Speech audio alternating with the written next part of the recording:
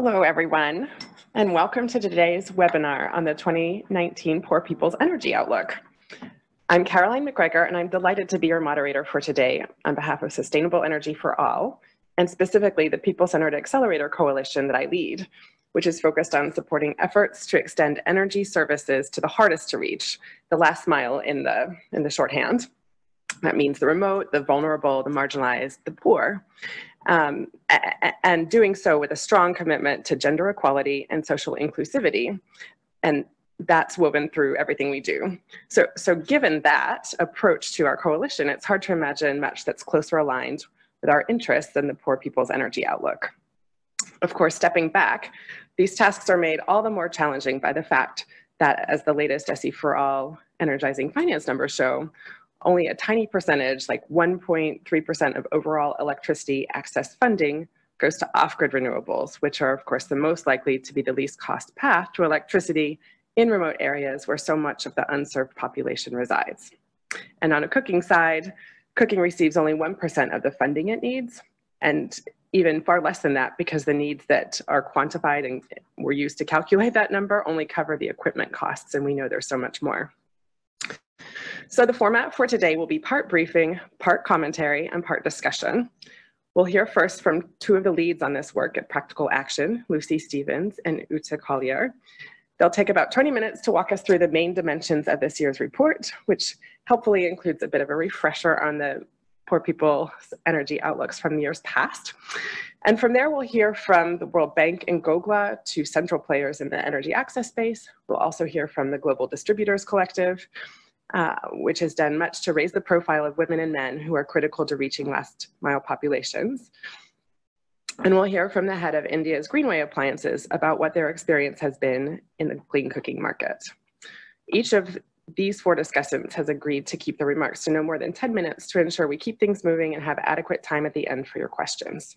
So on that front, go ahead and as, as questions pop into your head, go ahead and share them via the Q&A function that you'll find at the bottom of your screen.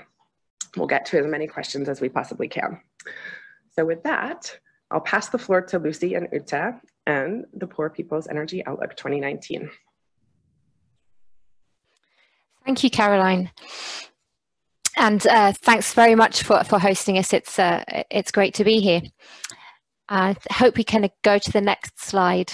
Lovely. Okay. Yes, well, uh, at this time of the year, you know, we're days away from, from the start of a new year, um, a new decade even. Uh, and we might maybe personally be reflecting on where we've come from or maybe commit to something new. And it's in that spirit that uh, we bring you this year's edition of the Poor People's Energy Outlook because it looks back to and compiles the work we've done since 2015 with a clear call for action for the coming decade. Uh, next slide so the PPO series actually began in 2010 and, and initially uh, it set out a framework for total energy access across households, productive uses and community services. Uh, back, but then from 2015, we committed to producing a series of reports um, as a guide to delivering at national scales on that um, agenda, um, that energy access agenda that will most directly and holistically meet the needs of energy poor communities. Next slide. Okay, so those uh, those three editions that sit over the last few years have focused on planning, financing, and last year on inclusive delivery at scale, each with recommendations for a more bottom-up approach. And now for 2019, we have compiled and updated our information compiled those editions, but also updated our information in line with advances in the sector and so on. Because uh, we know it's a fast moving sector, progress is being made. Issues of energy access and reaching the last mile are receiving more attention and the evidence base of what is and isn't working is growing. However, I'm left with a feeling of urgency Multiple obstacles remain, and reaching those left behind by business as usual appro approaches is proving difficult. We need to grasp those challenges and start acting now, or we may get to 2030 and regret not taking bolder action earlier. Next slide. So uh, what we'll cover now, our, our 2019 report, uh, it gives a, a, a take on the global trends and where we are now on the road to 2030. We then look in turn at clean cooking and fuels and electricity access from the perspectives of planning, financing and inclusive delivery at scale. And we end up by pulling this together with some key recommendations for action. Next slide. So uh, just a quick reminder that the research we've used as the basis for these reports has been data rich and also grounded. Uh, next slide. So uh, here are some of the key attributes of those methodologies that we've used. We've really consistently applied a gender lens and we've, we've, we've dealt with electricity and clean cooking on an equal footing. Um, and we've always tried to start with community level needs and priorities and putting these voices at the heart of the discussion. So uh, in 2016 and 17, uh, we based our work on three country case studies. That was Bangladesh, Kenya, and Togo. And in 2018, we focused on six large scale delivery programs covering clean cooking and fuels, grid extension, and off grid electricity. Next slide. So some of the methodologies for analysis that we used were innovative, and it's worth highlighting a couple of those. One of them was the community level energy demand profiles that we developed as a basis for much of our analysis that helped us set priorities and think across the breadth of energy needs and listen properly to what would make the most difference in people's lives.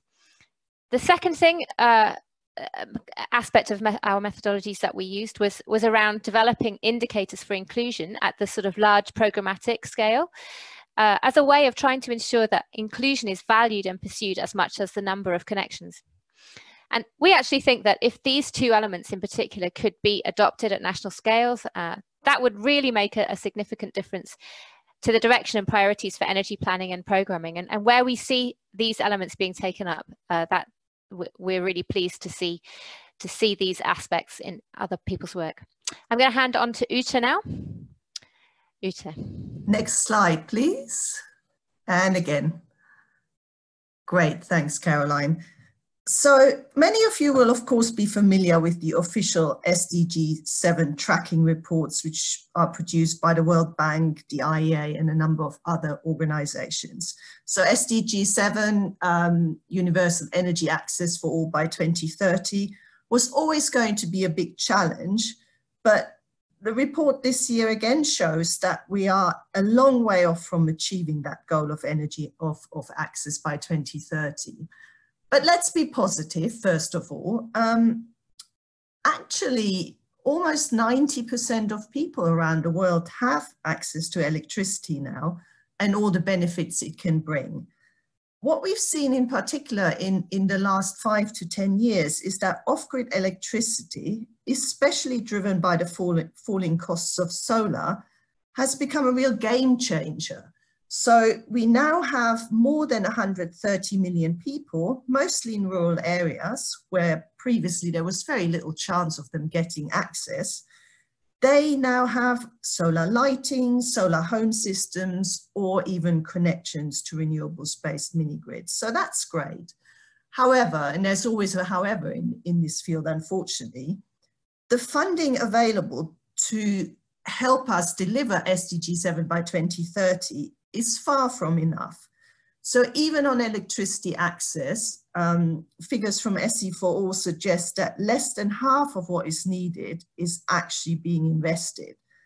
So we have about $30 billion, um, but that which is not enough, but even worse, of that, actually only 1.3% go into off-grid solutions. So the solutions which we know are particularly effective to go to the last mile are not being invested in. And then once you get to clean cooking, the picture looks even worse. So we have less than 1% of the money needed for clean cooking actually being invested. And Caroline already mentioned, even that just tracks investment in the equipment and we need to do a lot for awareness, etc. So let's talk about cooking specifically. Next slide, please. And one more. So the fundamental daily tasks of lighting a fire, heating water and cooking food have never really been a political or de developmental priority, even though they contribute to nearly 4 million premature deaths, deaths a year because they're being done with dirty fuels, causing a lot of indoor air pollution. And on top of that, that, that cooking with, with biomass fuel also has a significant impact on climate change, as well as local environmental sustainability.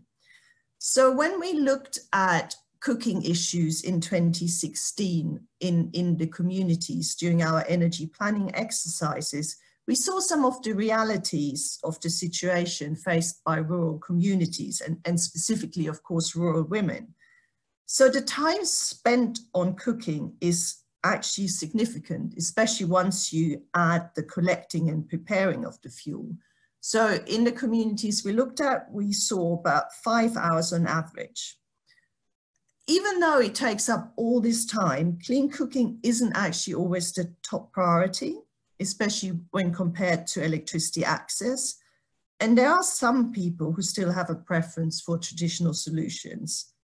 However, at the same time, many, and here's the figure 51%, are dissatisfied and want to leapfrog to entirely clean solutions if they could. And that we see, for example, in places like Kenya, where, where there have been public awareness campaigns about the health effects of cooking, which of course helps.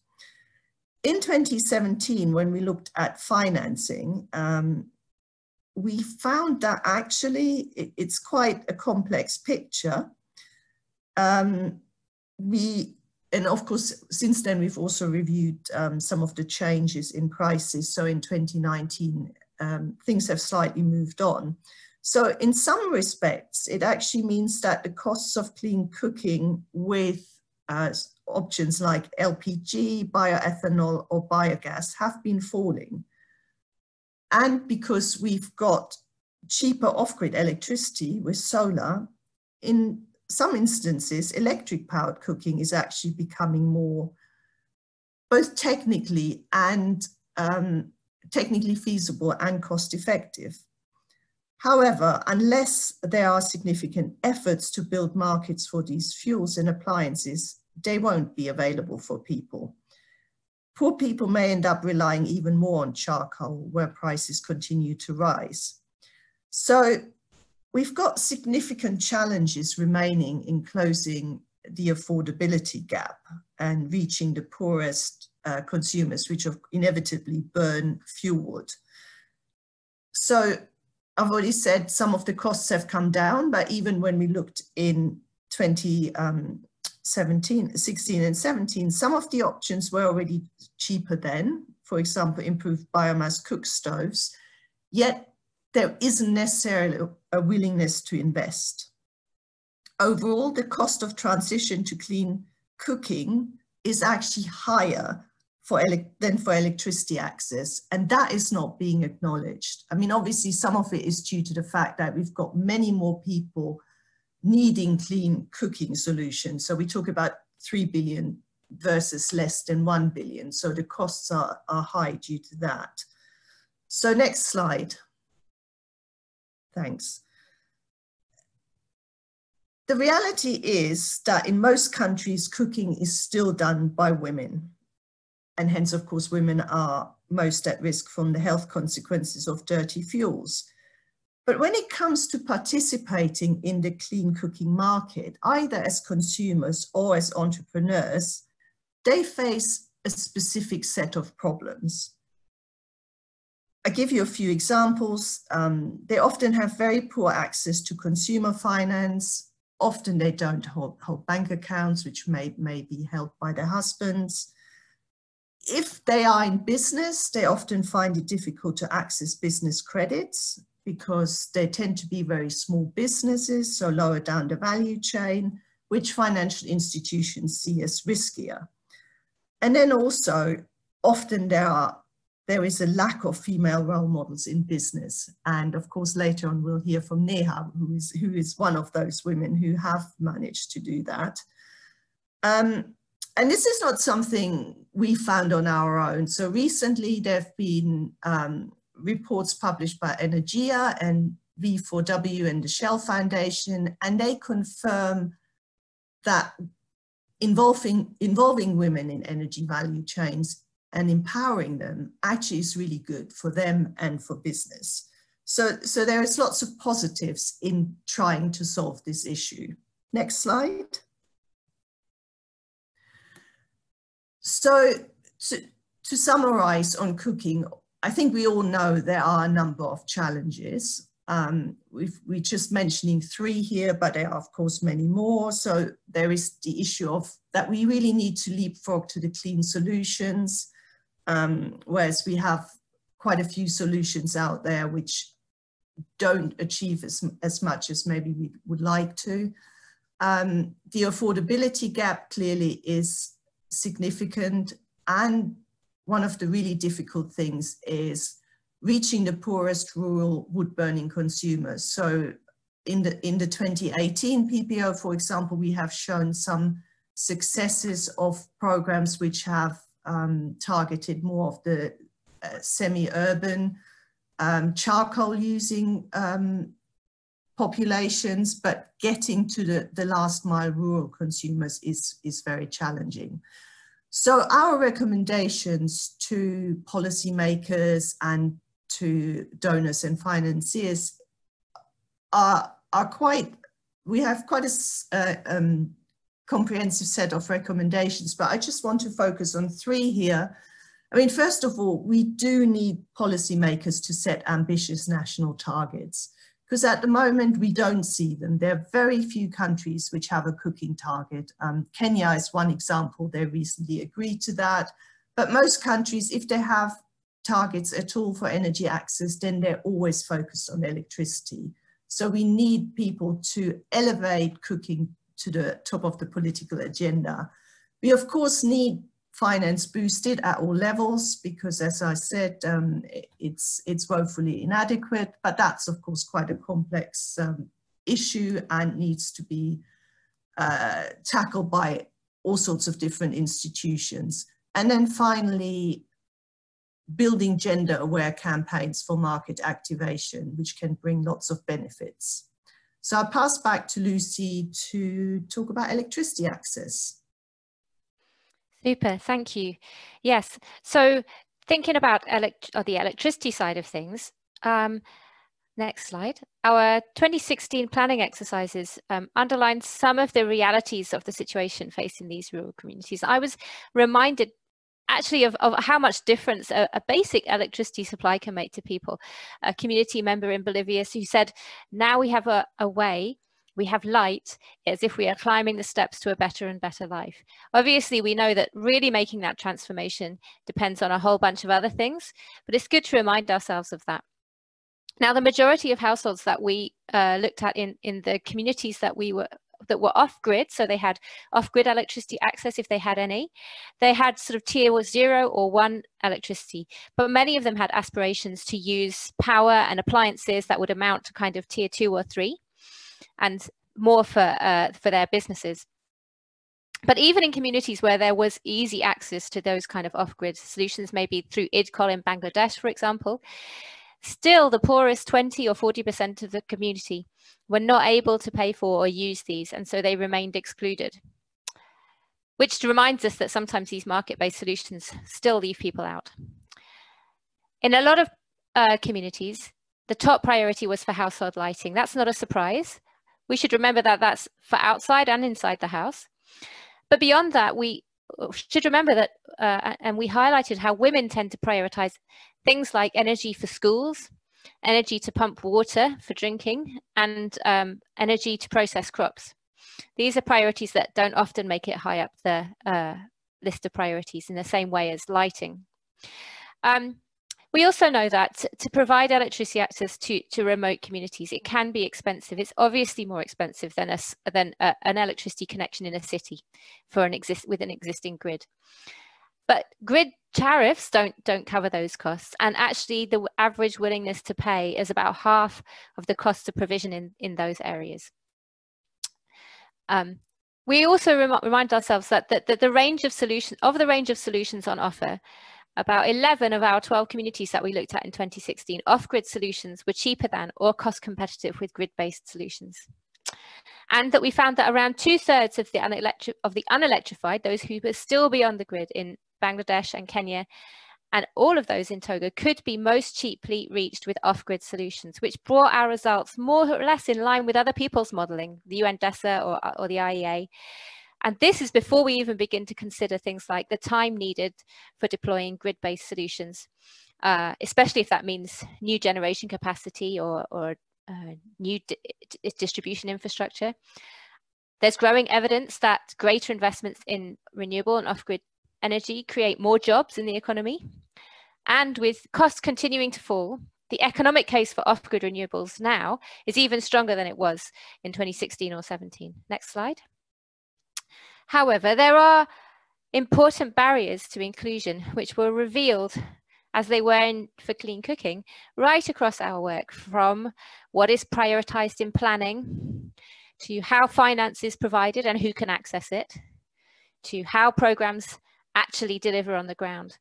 And this means that, for example, that, that generally men will continue to benefit more and be better served than women, and poor households and remote communities will continue to not be reached. We also uh, looked at where investments in uh, energy access and off-grid energy are being concentrated, and we know that East Africa continues to be a hotspot. Uh, new investments we found were being um, announced in other places like Bangladesh, which have uh, made progress. But the amounts, as we highlighted earlier, still fall far short of what's needed. Um, and with them being concentrated, what that means is that other countries in dire need are, are, being, are still being left out. Next slide. So some of our, our key recommendations in this area were around the need to plan for uh, an integrated approach across standalone systems, mini grids, and grid extension. Um, we need to think beyond the household. We need to set smart subsidies, uh, and we need to measure and value inclusion. Next slide. Okay, so in our report, we highlight three top priorities for a range of different stakeholders, recognizing that everyone needs to take action, not just governments. Uh, we need action from a wide range of stakeholders working together if we're to achieve the transformations that are, that are required. Uh, so we set out at the beginning of this process to produce a series of reports that would act as a guide to delivering on energy access at national scales in ways that would directly meet and holistically meet the needs of energy poor communities. So our evidence, our case studies, our stakeholder consultations, they've reinforced the view that this is not, that what we need is not really a blueprint or something prescriptive, but we need to ensure an inclusive process which is guided, but one that's guided by that really clear vision for inclusion and some really deliberate actions about how to make sure that that inclusion happens. So the bedrock of, of that needs to be, for example, holistic approaches that bring together grid and off grid and prioritize clean cooking at the same time. Holistic approaches that address demand and policy and finance, as well as just thinking about supply we need a stronger role for public funding that can be applied in smart ways. And our 2018 report and 17 report highlights some ways of doing that. And we need to embrace, measure, value inclusivity uh, in championing women's empowerment and supporting those multi-stakeholder processes so that we ensure we are continuously listening to the voices of poor communities who are the ones who will otherwise be left behind. Next slide. So before I close, uh, I wanted to highlight a number of ways in which we're working to get these messages out uh, to key audiences globally, how you can find out more information. So this webinar is obviously part of that wider pro is part of a wider process of, of engagement and, and dissemination. We regularly hold launch and discussion events at national levels, um, some in, in, our focus countries of operations. So if you're dialing in from any of those countries, welcome. But also please keep an eye out for those events because they'll be about how we translate some of these mes big messages in, in, at, at the national level. Um, we, uh, our report is, the 2019 report is currently available in English, but in the next three months or so, there will be uh, editions available in French, Spanish, and Arabic this year. Uh, You can also follow the discussions on social media with the hashtag PPO2019. And so, and, and at the website of practicalaction.org, you can download all the resources, four page summary, all the infographics that we've highlighted a few of today. So really, this is also an invitation. Uh, it's my opportunity to say thank you. Thank you to everyone who's engaged with us so far. And it's great to share these findings uh, with you. And, and we look forward to ongoing discussion and engagement with you all. Caroline, back to you. Thanks very much. Thanks so much, Lucy. Thanks so much, Ute. This was a marvelous, really marvelous presentation. I, um, you did a, just such a great job of walking us through um, what I know is an immense, immense amount of research that, that underlies it and presented so, so clearly. Um, the, the affordability gap is always interesting to us. You know, as most of you know, SE4All spends a lot of time thinking about finance, um, what the finance gaps are, how we can um, mobilize high levels of policy and policymakers uh, to help close them. And one thing that we have spent a lot of time looking at lately is um, what we're calling energy safety nets, but using that public funding, um, channeling uh, and, and, using public assistance uh, mechanisms like what you'd consider welfare um, in other countries um, to to pay for to help close that affordability gap for the poorest, whether it's 20%, 40% um, in, in a given country. And what, what I think is pretty interesting that comes out of this is this important distinction between the upfront investment cost of getting access, but then there's the ongoing recurring cost of using the energy. And often we, we conflate the two into just access. Um, and I think as as the energy access space has grown and evolved and become more sophisticated, we're getting a, a greater vocabulary around this. But the affordability gap that exists both um, on the capital investment side, but then the, the ongoing spending side is so interesting. And maybe we'll have a chance to come back to that in questions. But um, I'll turn now to um, the first of our discussants. We're so lucky to be joined by Dana Rysankova from the World Bank. She leads the energy access work across the entire bank, which is an immense job. So Dana, thank you for being here. I wonder if you could talk us um, through a little bit of um, the inclusion aspect, right? The, the Poor People's Energy Outlook recommends finding ways to value inclusion as much as the numbers of connections. And I wonder if the World Bank might help um, be able to build some of this into the work that you support.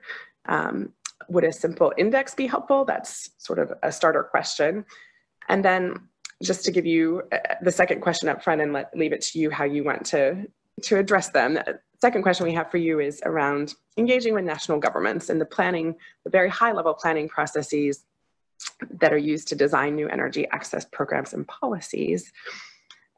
What can you tell us about whether there are any signs of change in business as usual approaches, um, and is there potential for programs to go beyond household electricity and in, and be more integrated, integrate more the, the off-grid access questions. So that's um, that's a lot, but I'm going to pass it over to you. We can't wait to hear what you have to say.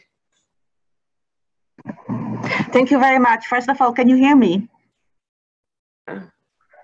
We can, oh. we can. Yes. Yes. Okay, great.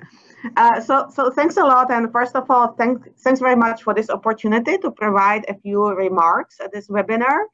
And above all, really congratulations and many thanks to Lucy and the Practical Action for, for, the, for this long-standing effort in bringing up consistently the importance of inclusion and highlighting the needs of the poor.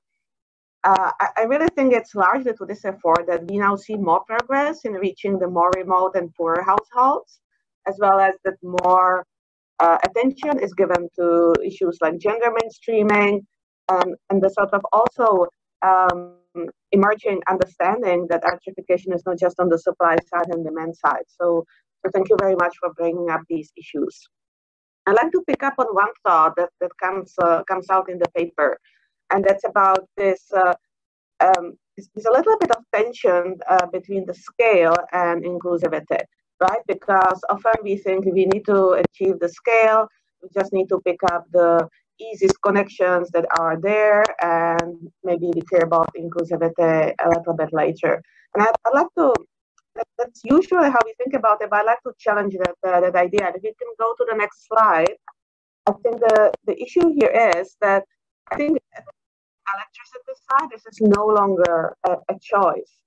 Um, if you look at the at the figures that are emerging from the latest SDG 7 report, uh, what we see is that uh, the majority, uh, first of all, the majority of unelectrified population is rural. And so really the low-hanging fruit of urban and peri-urban population is no longer there. Furthermore, uh, also as pointed in the report, there's a growing gap in between countries in terms of their progress in electrification. So while we have accelerated globally quite a lot, and um, in the in the last uh, 10 years, and especially in the last three years, there's, there's a huge gap across the countries, and especially we see low access countries, and in particular the FCV countries. Dana, I'm Dana, I'm so sorry to interrupt you. Oh. Um, there's a clicking noise that's a little bit mysterious. I don't know if you can troubleshoot that on your side. You can diagnose it, but it seems to have gone away at the moment. That's beautiful. And um, please um, we, we, know we gave you tight time constraints, but um, feel free to slow down and take your time because everything you say is so information packed. It's so dense with with with great stuff. Okay. okay, thank you so much. Okay, so I'm not sure where the clicking noise comes. I don't hear anything here, but hopefully it will go away. It's okay. We can still hear you. So go ahead. Okay.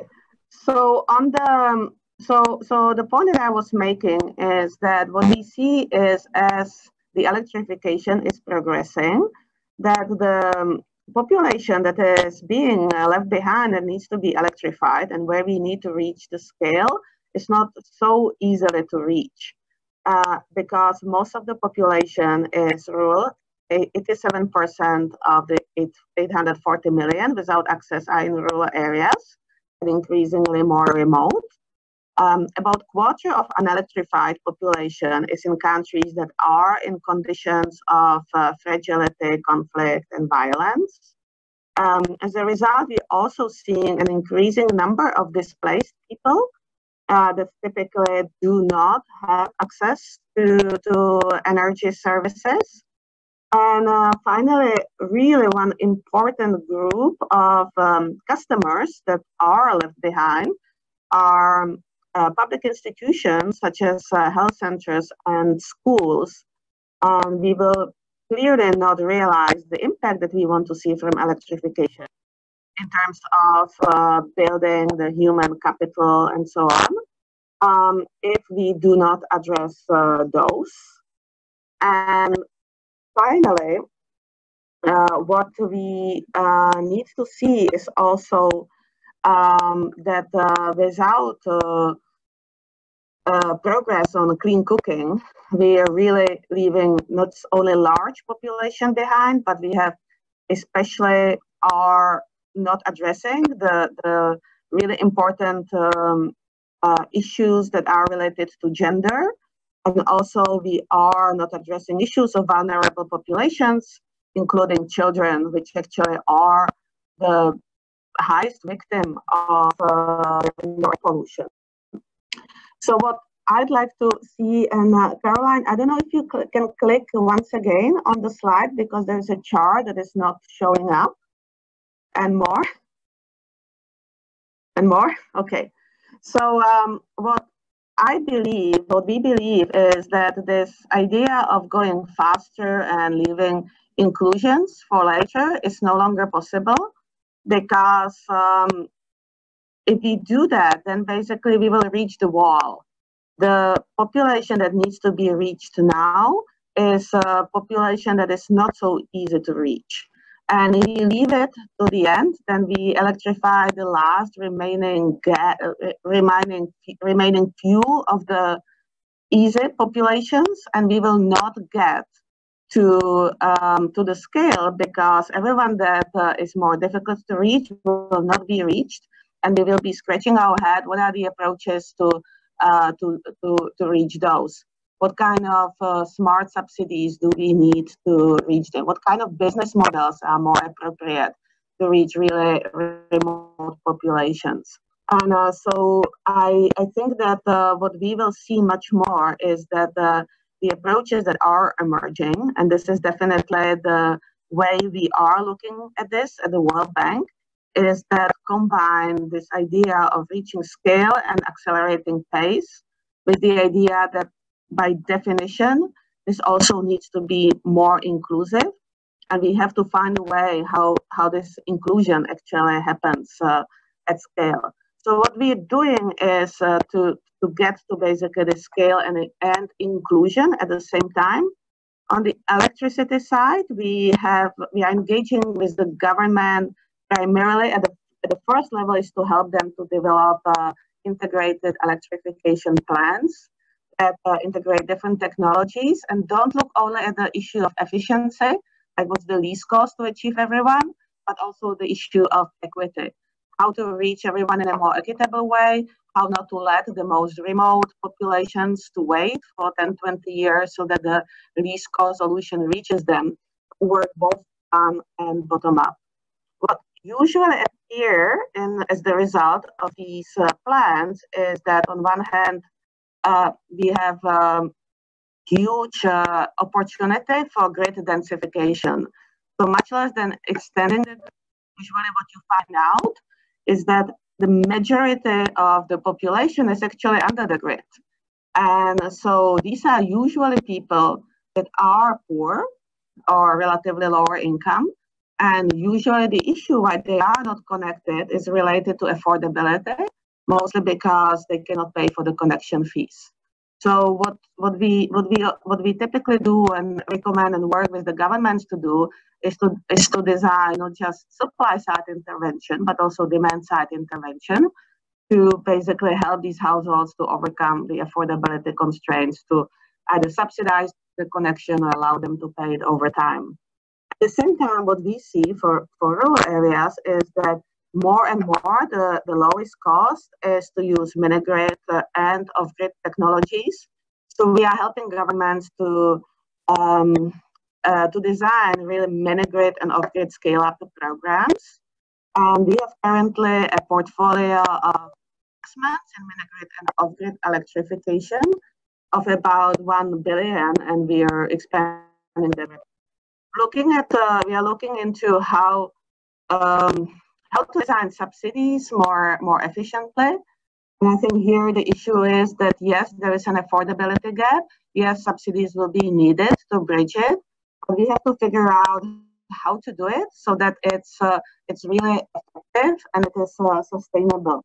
So we are having some interesting experiences that we are leveraging, uh, such as in Kenya in the KOSAP program, we have uh, set up result-based financing facility that is helping the companies that are operating in the sort of more densely populated markets to go into the rural areas and serve those households. And we are learning from that. In other places, such as in Burundi, we are now uh, testing some direct demand side subsidies to, to the households. There we work uh, with the social safety net program and see whether we can add uh, a subsidy that will allow households basically to go to the market and get uh, their off-grid systems. And we will be summarizing these experiences in a publication that should uh, come out uh, um, early next uh, year. And on cooking, we feel that really we need to integrate better clean cooking into operations.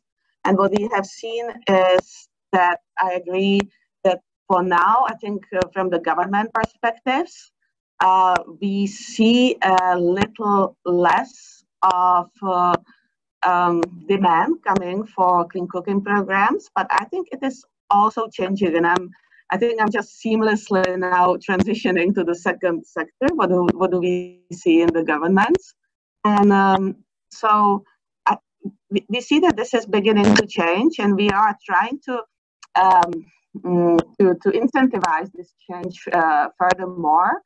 And so this is one of the reasons, and some of you probably have heard the announcements. In ESMAP, we have decided to set up a clean cooking fund uh, with the intention to mobilize uh, $500 uh.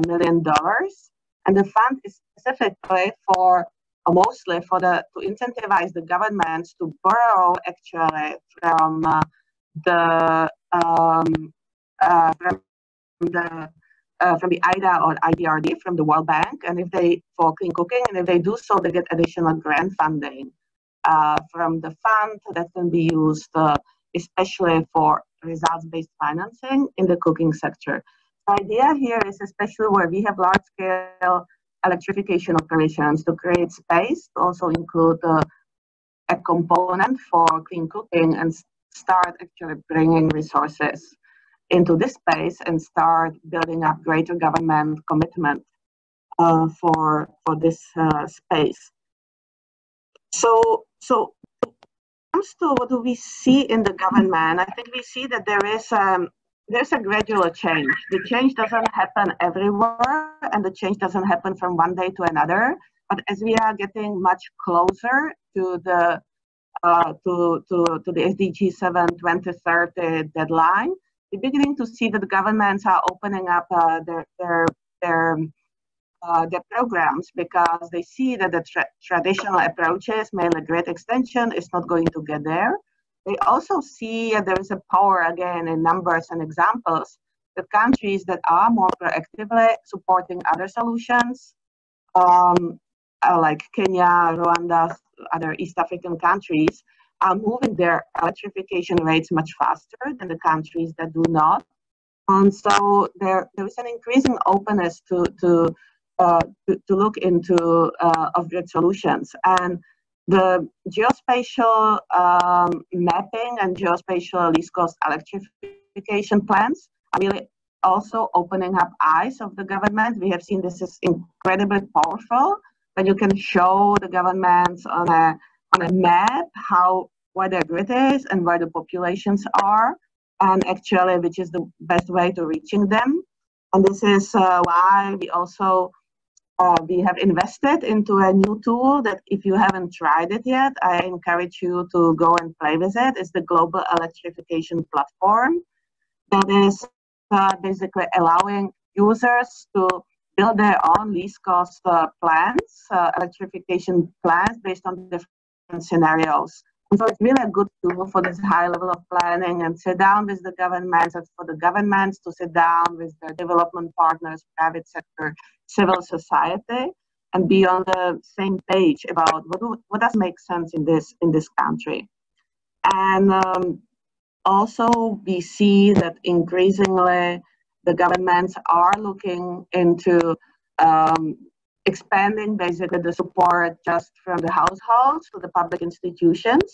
Here the issue is mostly to find the right business model that will ensure sustainability and also for the productive users. And again, I think the governments are interested to see impact of electrification. It's more that they do not know how best to support it. So I think collectively our, our work in finding out really what works, how do you really engage with the in a way that there is impact is very important and bringing those experiences uh, to, to scale.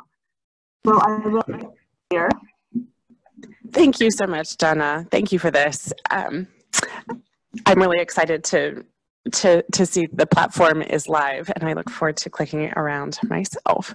I know um, this is for everyone's information, Dana's going to have to jump, so we won't have the benefit of Q&A with you, but we just really appreciate the time you've spent um, giving, giving the bank perspective on all of this. And I think it's a testament to how hard you and your team work um, that you uh, have been able to make the case for the, these inclusive approaches, these integrated approaches, and just um, on behalf of all of us, thank you for that and keep up the great work. Caroline, I'm sorry. I just realized I didn't answer the question on index. Can I can I just take one minute? Just real quick, Dana, and then you. I know you have to go. Yes, yes, yes. So on the on the on the index side, uh, I I just wanted to say that I am not sure whether this would really help because uh, I think it's a very complex issue. The inclusion happens in so many different levels, and so my warning just to be not to sort of put in some methodology that says this is inclusion, this is not inclusion, that may somehow skew the, the interventions into an area that maybe is even not the most impactful and, and helpful. What I find most useful uh, is uh, more, really keep creating and continue creating this awareness why inclusion matters. And then it's not just inclusion for the inclusion, but it's the only way how we can actually electrify everyone and how we can achieve impact. And especially to share lessons of of the practical approaches that work because I don't think anyone, there are not many governments or institutions that do not want to be inclusive. It's more a matter of understanding how, how do we get there, what really works um, that, uh, that matters most, and what works in a sustainable way. Thank you. Wonderful. Thanks again, Dana. So Next, I want to turn to Drew Corbyn, who's here with us representing GOGLA. Drew, as the PPEO points out, we're collectively a long way from achieving SDG 7. But according to GOGLA's off-grid market report, there's been some remarkable progress in some areas. I'm wondering if you could tell us a bit about the products, the countries, the, the places where you've seen impressive growth, and what the key drivers of this growth have been.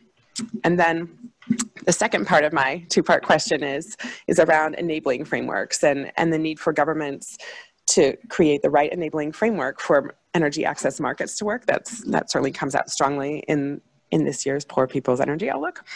But question for you is what types of regulatory or fiscal measures do you, your members think are most crucial to allow them to operate effectively? So over to you. Thank you so much, Drew, for joining us.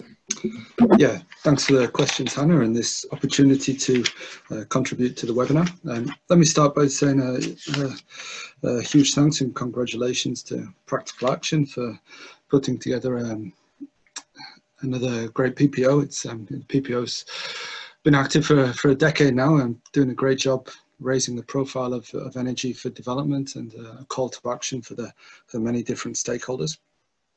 Um, so let, let me um, say a few words about GOGLA. Maybe not all of the audience is aware uh, of, of, who we are. GOGLA is the Global Association for the Off-Grid Solar Industry. And our mission is to build sustainable markets with profitable companies that sell quality and affordable products um, to off-grid and weak grid customers in the developing world. We have 160 members in the association based around the world. There's manufacturers, distributors and technology providers, as well as investors, sector support programs and national renewable energy associations. Uh, our product focus is on solar lanterns, solar home systems, appliances and uh, solar productive use technologies. And as an association, we provide four services. Firstly, sales data and market trends, which I'll be showing uh, a bit more in my next slide. Secondly, networking and events. Thirdly, uh, we do advocacy um, to um, policymakers and investors. And thirdly, we promote stand, sorry, fourthly, we promote standards and guidelines for responsible business. Um, and yeah, so let me answer your first question by moving to the next slide, please. So this is some some data from the um, from a, a, sales database which uh, manages with uh, with the um, partners um, from Lighting Global and Efficiency for Access. And the big headline here is that 46 million products have been sold in the last decade, and this is um, giving benefits to 110 million people that are enjoying um, using uh, off-grid solar products. And this is having tremendous uh, economic, environmental, and social benefits. And, and, we know this, we, we have the evidence for it. Um, for example, a, a recent uh, GOGLA report called uh, Powering Opportunity from West Africa, which surveyed around 2,000 consumers, found that there were the overwhelming majority of the, the product users said that the, the product gave them an improved quality of life, more study time, uh, they were healthier, safer, um, and there was more uh, economic activity. Um, so the, the data showed that um, the the solar home systems, it, it allows people to um, delay household chores to the evening if they've got lights so that they, they, can do that at home in the evening. And it also allows them to avoid wasting time on phone charging or, you know, going to buy paraffin or, um, you know, another traditional uh, source of fuel. And this equates to, for, for every 100 solar home systems sold, it equates to um, eight full-time jobs generated. So the, the time savings uh, for 100 systems gives you eight, eight um, jobs uh, equivalent of time. And that's um, the, the people who are benefiting this. We found that of those eight full-time jobs, three would be from women and six would be in rural areas. Um, you know, of course, that's spread over, you know, the, the 100 households. You know, some don't do anything. You know, some have got maybe half a day, others an hour here or there. So that's going to be just a, an equivalent benchmark. Now, looking at the, the detailed data from um, the first half of 2019, uh, which is in the, in the box on the slide here, um, GOGLA members and uh, affiliates of the program sold uh, 4 million um, products. The large volume of that, uh, 3.1 million, is for uh, solar lanterns and multi-light systems on a cash basis, whereas the, the big value um, comes from the pay-as-you-go systems, uh, which are largely linked to the, the larger solar home systems. And we see as a, as a trend that the, the market is moving away from the, the lanterns and multi-light systems to, to the larger systems and away from cash sales to, to pay-go. And you know, that, that's fantastic. You know, of course, the, the bigger systems, you know, the more um, kind of uh, use and impact that they generate.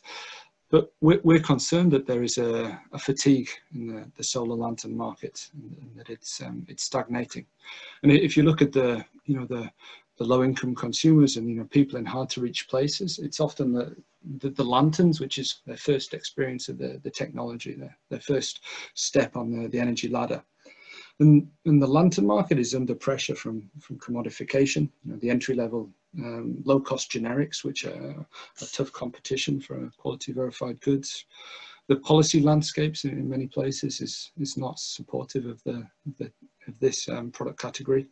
And also there's some um, donor and business fatigue. You know, people are thinking beyond lighting to, to larger systems. And um, another trend that's coming through is the um, we've recently started collecting data on appliances. Um, in the first half of 2019, um, the members and affiliates sold 190,000 TVs.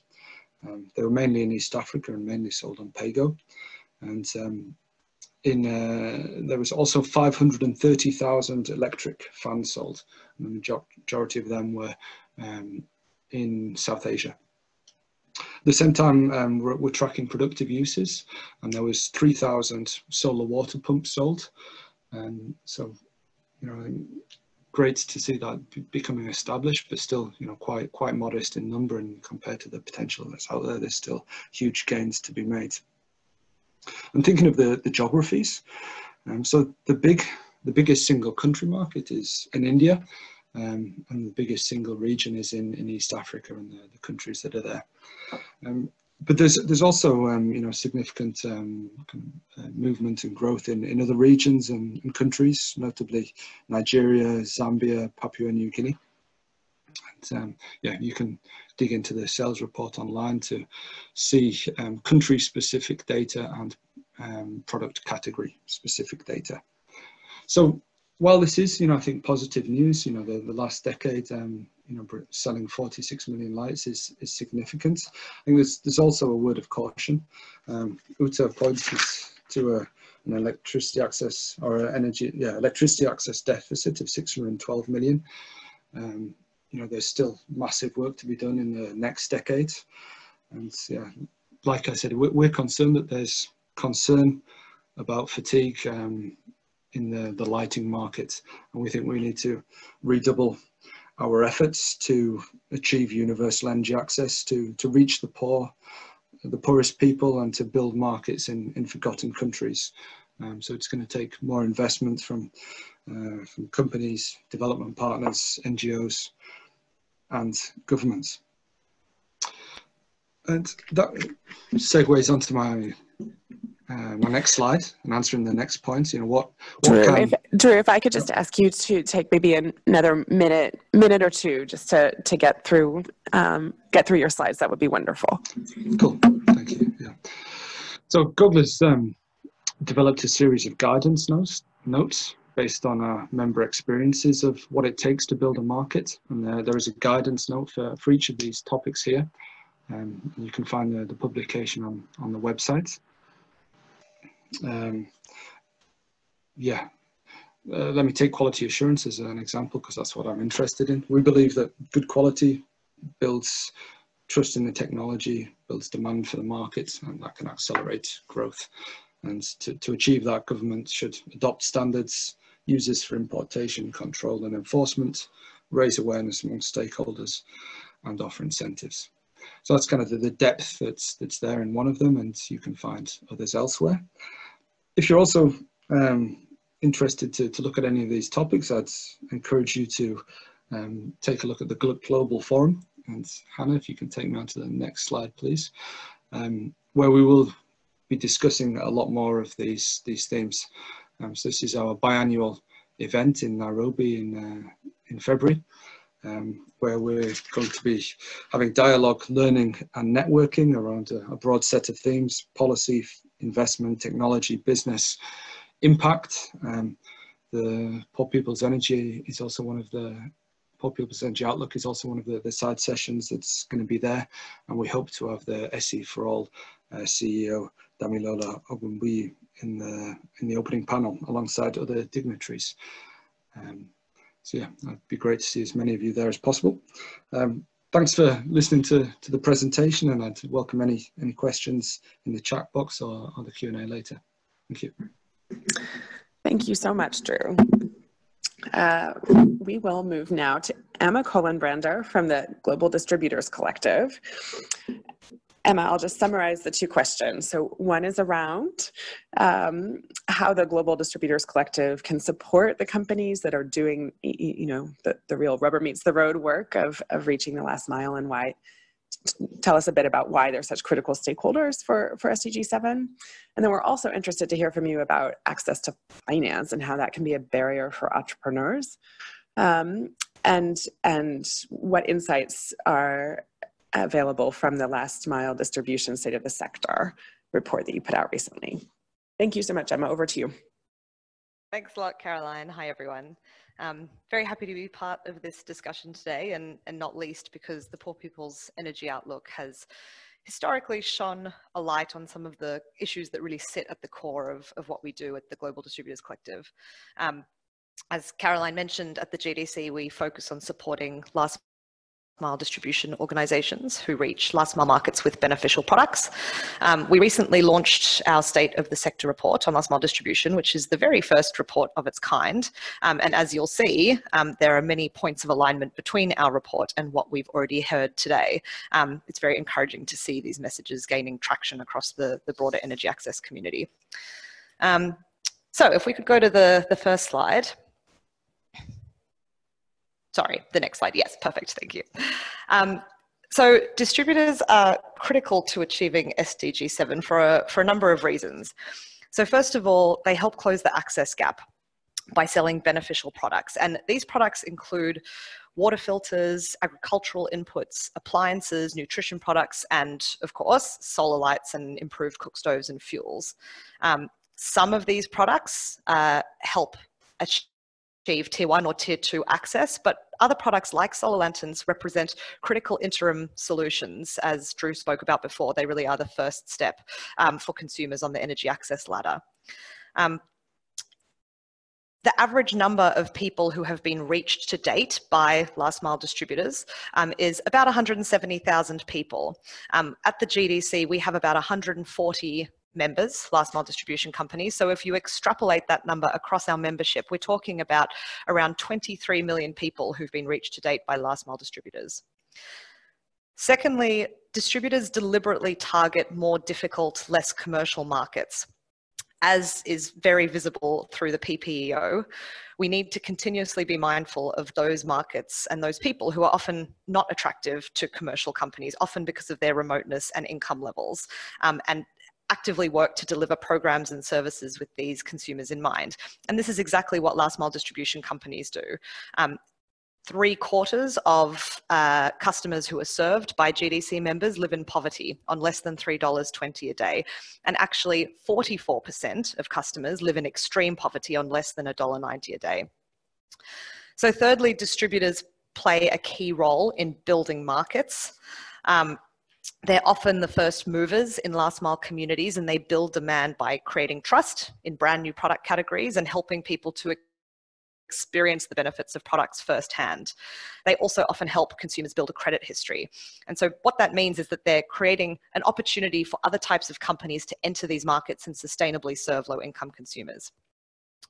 So fourthly, distributors are committed to quality and customer service, which really dispels one of the, the myths about distributors. Um, they're not selling cheap, low quality products and, and, dumping them on last mile doorsteps and running away.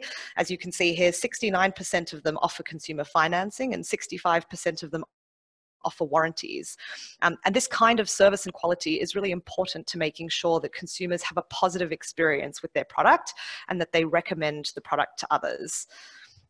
So next, distributors play an important role in creating jobs. They create jobs in retail and sales, and that has positive knock-on effects across the whole value chain. Um, and often often distributors will deliberately target women. Um, you're probably familiar with last mile distribution companies like Solar Sister and Pollinate and El Soler who explicitly target female entrepreneurs in their sales agent networks. And finally, distribution companies are mostly local. 60% of our members have at least one local founder. And what this means is that they are deeply embedded in last mile communities. They have strong local networks and a, a deep understanding of the needs of their end consumers. Um, the distribution sector is a big sector, um, and these companies are not the only route to serve the last mile. You have other organizations like MFIs and uh, manufacturers with proprietary distribution networks, multinationals, independent retailers selling beneficial products. But distributors are having a very significant impact and they have potential to make a real contribution to SDG 7. Um, but despite that, their unique characteristics and contributions tend to have been overlooked. So they represent a real untapped opportunity. Um, so next slide, please. So to answer the question about access to finance, I mean, it's not going to surprise anyone to hear that access to finance really is the number one challenge faced by last mile distribution companies. And I think we're all broadly familiar with what these challenges are because they are similar to those faced by, by across the wider SME sector. So from the perspective of the distributors, the minimum investment sizes are too high, interest rates are too high, collateral requirements are hard to meet, uh, all the application processes and the due diligence processes are too complex. And then on the other side, from the investor perspective, they see distribution as being just too risky and the transaction costs are too high on a, on a large number of small investments, um, need a high return to justify the high risk. Um, and distributors have limited track records and there's not much data about their performance, so they can't be benchmarked. Um, so two very different perspectives there, but I think what we're seeing is a really critical uh, part of this challenge is that distributors struggle to access long-term growth capital, and that's for, for all sources of, of capital. So we found that about 86% of distributors have raised grant funding, 86%. So that's pretty high, but this is very rarely in large enough volumes or long term enough to enable distributors to grow to the extent that they really need to then access more commercial capital. So they're not able to bridge that valley of death. When we look at equity here on this slide, you can see that by far the primary source of equity for distributors is individuals, family, friends, and angel investors, or founders themselves. And this type of equity makes sense for startups, but it's not sufficient for distributors looking to grow. In terms of debt, you'll see crowdfunding is one of the top funding sources for distributors. Um, and while these type of loans and also loans from family or friends or angel investors are, are, helpful and they're often available without collateral. Again, they're not of the size or the duration that's needed to meet the working capital needs of distribution companies. And then finally, I think it's, it's, it's important to note here when we're talking about challenges with raising capital that accessing finance is more of a challenge for local companies than it is for international companies. And we found that this was true across all types of, of capital, but particularly debt. Um, quite a stark finding from our report is that um, only 56% of distributors with a local founder have raised debt, and that's compared to 87% of those uh, who do not have a local founder. So that's a 30% differential, which is fairly significant. So final slide. Our report uh, shone a light on a few emerging innovations and solutions to try and tackle some of these challenges. So first of all, there is a need for more dedicated grant-making mechanisms for last mile distribution. And here we shone a bit of a spotlight on DPRIZE, which is a, uh, uh, a foundation that provides startup seed grants, small funding, uh, 10 to 20,000 US dollars. Um, and they have actually supported about 10% of the GDC's membership. So they play a really important role in the space.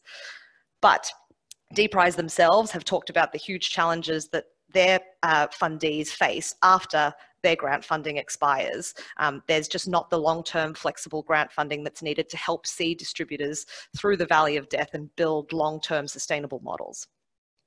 So secondly, there's a real need for uh, more um, uh, financial and technical support that's bundled together. Um, and we are seeing some exciting innovations in this space. So the Miller Center for Social Entrepreneurship runs a dedicated accelerator just for last mile distribution companies. Um, and that's a program that um, combines capacity building over a number of months with matchmaking with uh, investors at the end of that program. Uh, Venture Builder, which you might have, uh, have seen launched uh, this year, is another really exciting example. And then finally, uh, we're starting to see increasingly partnerships between investors and software platforms. Um, and this is a way that investors can leverage third party verified data um, from platforms like Angaza that can bring down the due diligence costs and the risks um, of investing in distributors. Um, so the, the SIMA Angaza Distributor Financing Fund was launched a couple of weeks ago and is a, a sort of stellar example of this um, in action. Um, so a few exciting, exciting examples here and, and more interest. We're seeing more interest in developing new mechanisms to support distributors, but, but not enough. Um, so if you'd like to read more, you can um, visit the website. The link is at the bottom of this slide here and download the report from our website um, or get in touch if you have any further questions. Um, and I'll hand back to you, Caroline, to, to take over from here. Thank you, Emma. Last but not least, we're going to hear from Neha Juneja. And of course, after that, we'll turn to questions. And I can see people are already um, feeding us their, their great questions. But first, Neha. Yes. Um, hi, your company has been selling stoves since I think 2013. It's a good long time. Um, but that's that's more that's not all that you do. Um, but I'm wondering if today we could get you to, to share with us a bit about the business model and, and um, how, how your business for good approach works and, and, and how it's been achieved, how it's important to your success. This is, of course, really in line with um, what the PPEO has consistently advocated for around gender inclusive business approaches. And then secondly, um, the on the cooking front, right, the PPEO identifies rural wood burning households as a particularly important market segment for improving global clean cooking practices. But then stove stacking, affordability challenges, cultural barriers um, are, are also barriers to uptake. And I'm wondering what your kind of lived experience has has been with these challenges and and what lessons learned. So over sure, to you. Thank, you. thank you, Caroline, and um, thank you everyone for having me today. Um, very quickly, we started as a you know startup enterprise focused entirely on those households who were burning wood and were unlikely to graduate to solutions like LPG or electricity. Um, it needs to be borne in mind that India is a country where you have a few hundred million households who cook in a clean way, and you have about 700 million individuals who cook on firewood. And while some uh, a lot of us may assume that these 700 million will start cooking like the other 500 million. There's, there are huge affordability barriers that exist, which is why a more intermediate solution was needed and hence Greenway was started uh, 2013. Um, if we can move to the next slide. So we are just very quickly, we are India's largest uh, clean cook stoves company. As uh, Emma was categorizing, we are a manufacturer with proprietary distribution. This means that uh, while we have distribution partners, we also have a field strength of about 100 people who are just going out, selling stoves, collecting credit data, managing other credit relationships and so. And uh, if we can move to the next slide. And uh, what I wanted to do very quickly is to distill down some of the things that have worked for us and some of the things that haven't worked for us. Uh, starting with what has worked, uh, positioning ourselves as a good for everyone brand has definitely worked. Um, we do everything from manufacturing, distribution to end consumer support. And just whether it is partnering with um, other partner organizations or even with the end consumer, just a good for everyone brand does sell better. It's it's just better marketing in that sense. We can go back to my slide. Um, another, I think, a bigger learning that uh, most entrepreneurs, including ourselves, we missed at the start was that willingness to pay is not demand willingness to pay is different from ability to pay and it is when people are able to pay and when there is willingness is where you actually have demand. And this has been a hard lesson to learn. It has been rather hard to understand who are the consumers who actually have the ability to pay for our stoves which start at about $25 and even those $25 have more or less have had to be sold on at least six month installments or 12 month installments and how do you as an entrepreneur or as a business go to only those segments or identify those segments where there is ability and focus your energy in terms of building market awareness demand in those segments itself? And that's not easy considering how big and how um, diverse this market is. It is not easy. Just in india we're talking 700 million people each and every one of them different from the other the third thing that I wanted to speak about that has worked is engaging women as product promoters. Now, this uh, this is this has also been a purely business-driven decision for us. So we work with about um, 800 women who act as product promoters and uh, rely on us, and we rely them for some income, and we rely them on them for sales. And the reason for this is uh, rather simple. We've over the years learned that instead of trying to engage men, and here we are speaking in the context of a fairly patriarchal country, instead of engaging men, this may sound odd, it's best to just avoid them. Which is why having women to sell a product like clean cook stoves just makes better business sense. You get higher conversions, you get a higher ROI on the time spent by each and every promoter on the field, and it's just better business.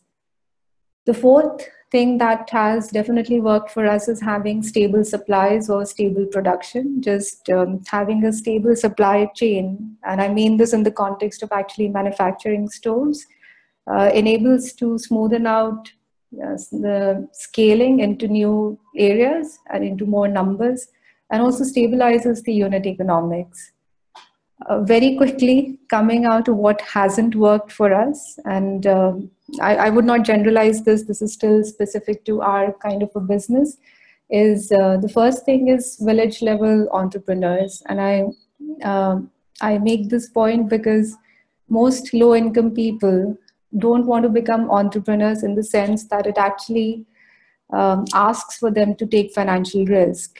And most um, individuals and especially women do not wish to take any financial risk, uh, which is why most of us don't want to take any financial risk. So it's not very different. But they're willing to trade effort and hard work for income. And that is how we deal with our promoters that you put in the time. You don't have to invest in buying stoves from us to sell them further.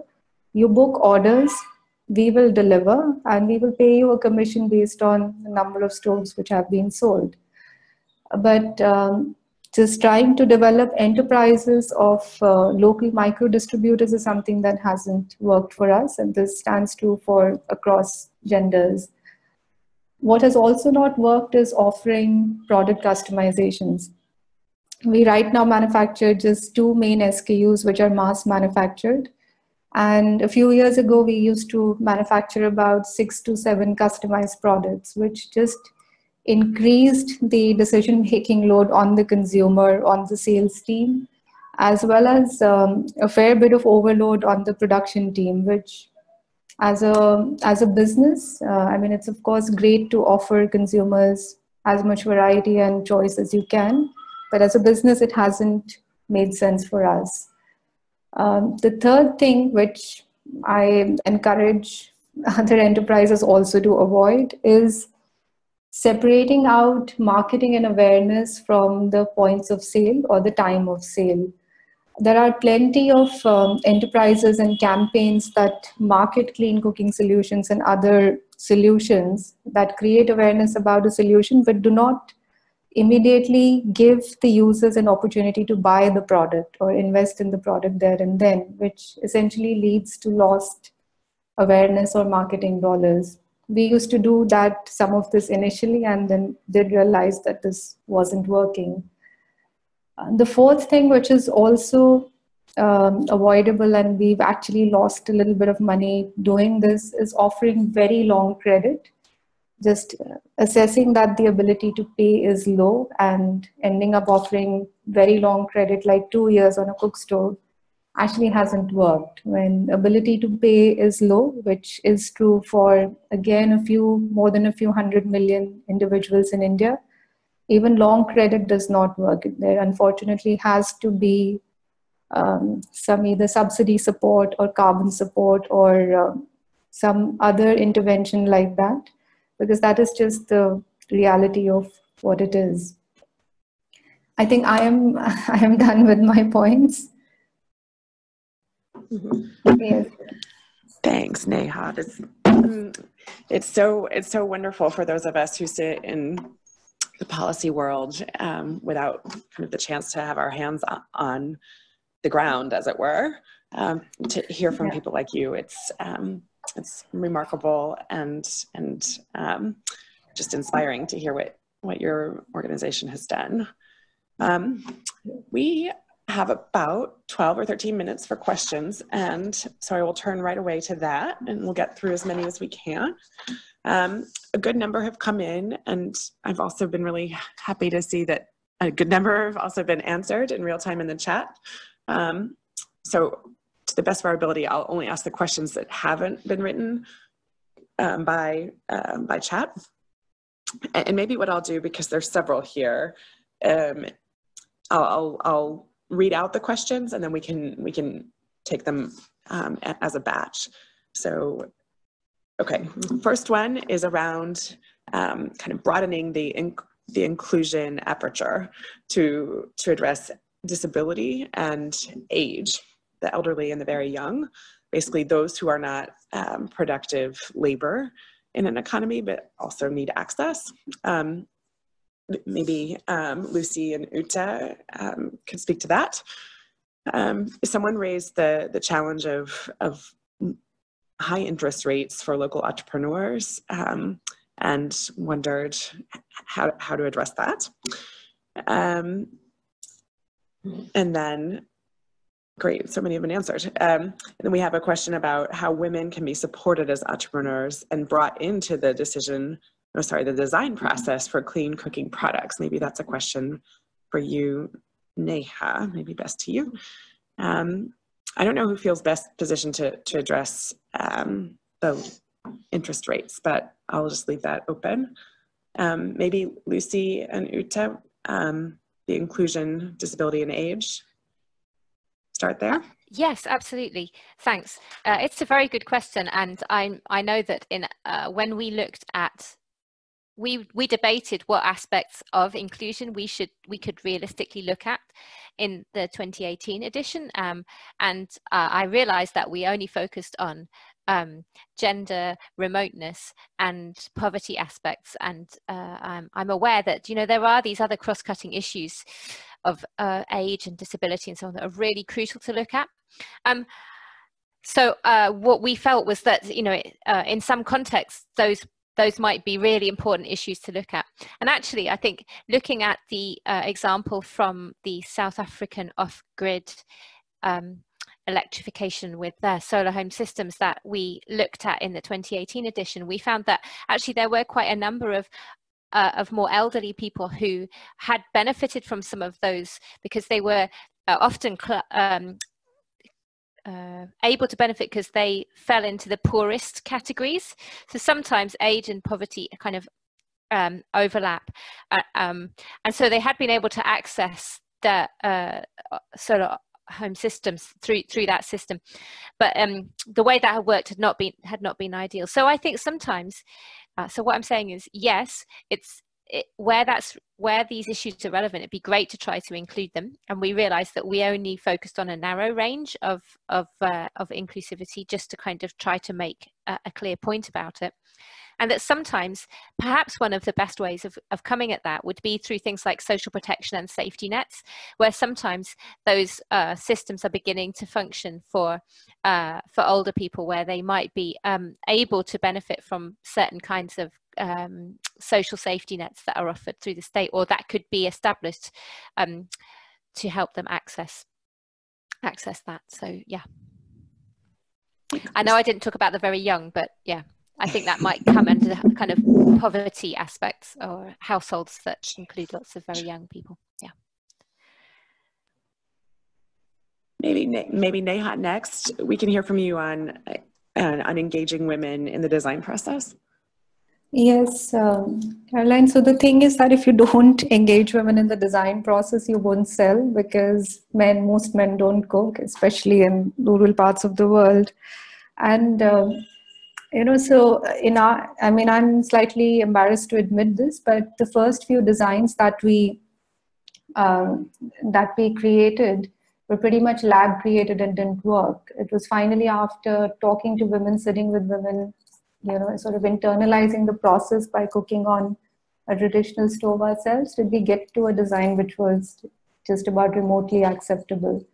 But I think it uh, requires, I would say that it requires a more, uh, um, uh, I'm sorry, I'm not getting the English word for this, but uh, more as localized, just becoming a local and internalizing the problem with women, which basically means a lot of sitting together, a lot of working together. There is just no other way. So you need to reach out to rural communities. You need to, you know, be there and um, focus more on what the consumer is saying as opposed to what um, there's also a tendency in the clean cook stove sector to get uh, carried away by sometimes what uh, you know funders are expecting, which is at odds with what the consumer's requirements are. And um, and the consumer in this case is a woman, and, and in all probability is a woman. So you just need to work with women by being with them. I'm not sure if I can. No, that, you know, good insight. That was great. That was great. Um, Emma volunteered to to tackle that interest rate question. So over to and maybe Drew could chime in a bit too.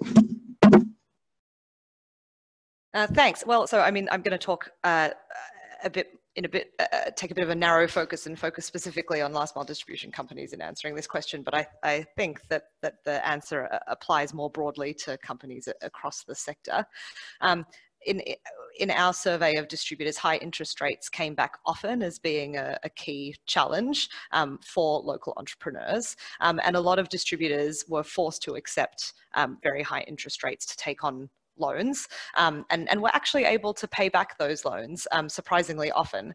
Um, but, but definitely created challenges for, for managing their working capital. Um, fundamentally, it's a problem about risk and how risk is assessed by investors. Um, I think there are a couple of uh, sort of areas that can help address this challenge. So first of all, I think data um, is a is a is a key area to, to help bring down interest rates. I think if investors um, and banks can better understand um, and, and, benchmark uh, companies um, against the broad, a broader sector, um, then that uh, helps them to understand uh, risk levels um, and, and, and, and bring down their, their transaction costs um, as well. Um, I think secondly, it's about supporting with improving the investment readiness of some of these companies to again help uh, bring down uh, risk levels um, and making sure that distribution companies understand what type of capital they actually need to grow because often companies are talking to investors about debt when actually they need equity or, or vice versa.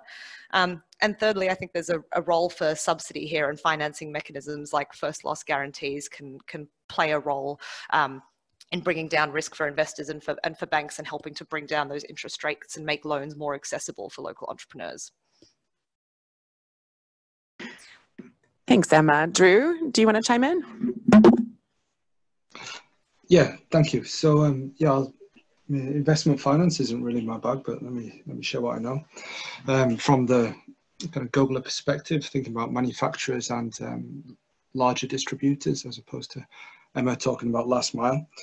So GOGLA members have secured uh, equity and debt finance, um, largely from uh, development finance institutes, um, impact investors, green finance, and more recently there's been a, a wave of investment from um, there's four Japanese conglomerates have invested in, uh, such as BBOXX Mobisol, and um, also Engie and Shell. Some of the energy incumbents have made investments in the sector. Um, so yeah, largely kind of you know international players and lo local banks are you know still staying away. I mean, it's fair to say. And I, I understand a, a, local bank will typically need, you know, a track record of, of five years and a, and a, healthy balance sheet, including a profitable business, which, you know, basically doesn't really exist um, yet in the sector. Um, so, you know, I think this, this investment landscape does create gaps and risks uh, for the sector, and um, you know I think that needs to be needs to be addressed. Um, Emma talks about um, some of the principles around you know um, transparency, investment readiness, you know helping with the consumer affordability and some of the the fundamental market barriers, and, and I think that, that holds true um, for for manufacturers and uh, distributors as well. Thanks, Drew. So I'm looking at the clock, and um, before we wrap up, I want to do um, what I, am very excited about this because I'm so intrigued at what people will say. But we'll do a lightning round um, of, of hearing from each of our speakers um, on what has surprised them in their work, um, whether in the research findings, in um, you know experiences out in the field, just just anything that isn't quite um, how you assumed it would, would be. And maybe we can go in order that we, we did from the, the top of the program. So let's see, Lucy, um, we'll start with you.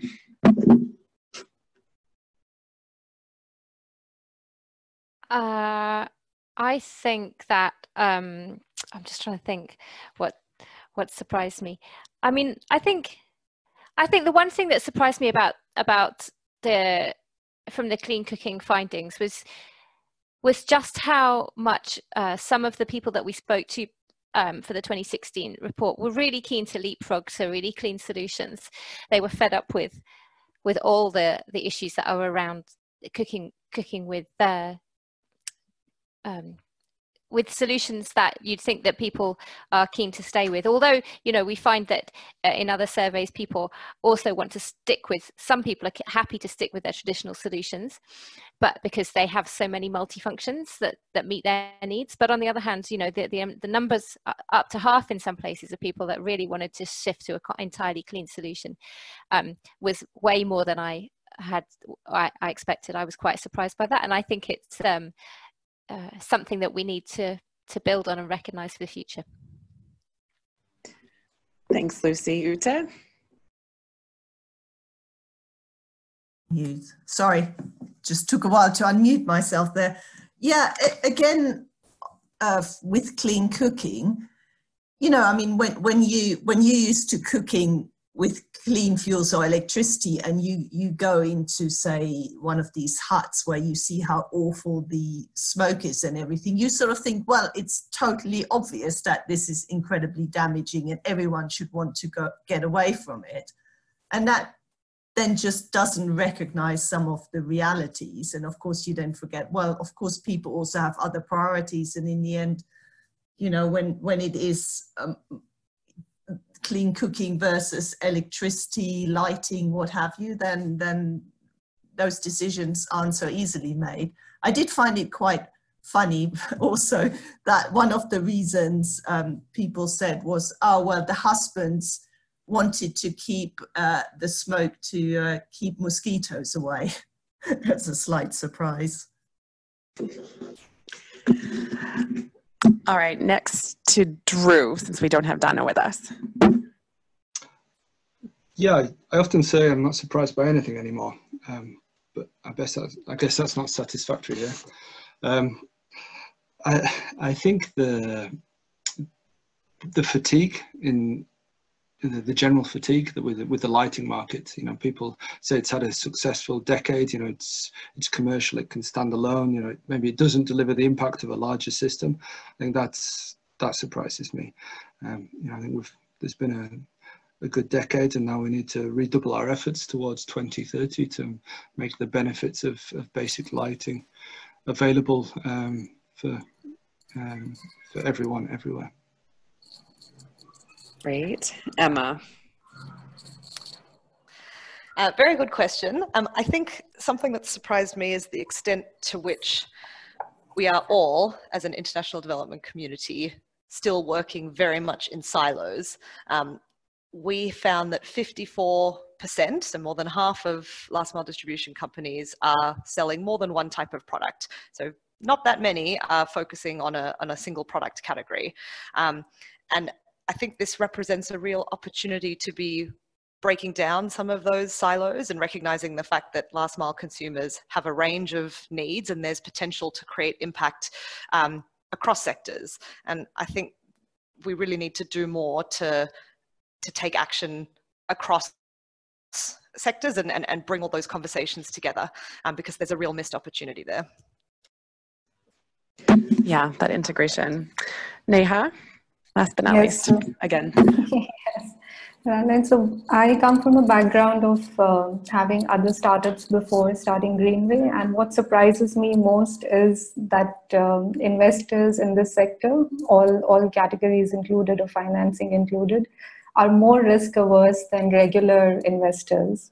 I mean, we are uh, we are dealing with problems that are large, difficult, and very, very complex and messy. But we're also dealing with problems that have that can potentially create and are creating very big markets. So I think there needs to be some. So the attitude of investors in terms of taking risk has been uh, quite quite surprising compared to starting another business or a regular startup in India. or So. Great. Thank you all. Thanks for in indulging that particular question of mine. Um, but I think it's a great it's a great way to to wrap us up. Um, I have been scribbling takeaways. There's been so many, um, but I'll just give you three as sort of a proxy for a recap here. Um, I think the recommendations in this report are great, and I hope to see them spread far and wide. Um, but the focus on demand, not just supply, I think that's so important and meeting people where they are. Um, that's geographically, but also economically. Um, that voices matter. We need to to listen and and get those voices into planning processes and multi-stakeholder dialogues, et cetera. And and finally, I think Dana said this, but um, faster and more inclusive must go hand in hand. Um, we can't leave inclusion for later because um, you're not going to get to scale by just pursuing the lowest hanging fruit. Um, so such a rich discussion. Thank you again so much. Thanks to our presenters, Ute and Lucy. Thanks to our discussants for their great insights. That's Dana, Emma, Drew, and Neha. Thanks to the team behind the scenes that helped make all this happen. You know who you are. And thanks to all of you who joined us for your engagement, all your good questions, the work you're no doubt doing that's aligned with the PPEO's focus on working with the poor to end energy poverty. Please keep it up. And on behalf of all of us here at Sustainable Energy for All, best wishes for the holiday season. Rest up over the holidays, and we'll see you right back here in January for the final decade push to sustainable energy for all. Thanks, everyone.